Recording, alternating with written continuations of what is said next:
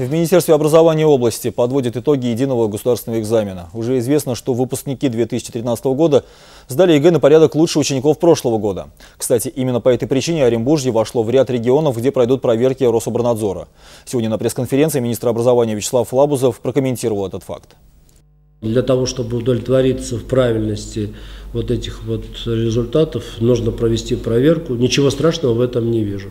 Это обыкновенная процедура, которая из года в год применялась Рособорнадзором.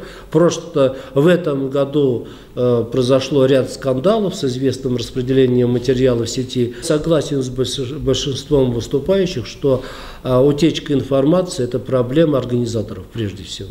Подводя итоги, Вячеслав Лабузов рассказал и о нарушениях во время сдачи ЕГЭ. Шесть человек были удалены с экзаменов. Пятерым разрешили пересдать, а вот шестой девочке предстоит сдавать ЕГЭ только в следующем году. В остальном единый государственный экзамен в Оренбургской области прошел гладко. Выпускники добились хороших результатов. Только стобалльников оказалось в три раза больше обычного. Министр образования региона отметил, на следующий год выпускные экзамены в России могут пройти уже по новой системе. Идея пока только обсуждается, но вполне возможно, что скоро будет реализована. Кроме кроме обязательных экзаменов будет включен средний балл по аттестату.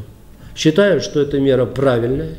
И второй момент, связанный с так называемым портфолио э, учащегося. В этот портфолио войдут и те победы, которые тот или иной школьник одерживал на различного рода олимпиадах.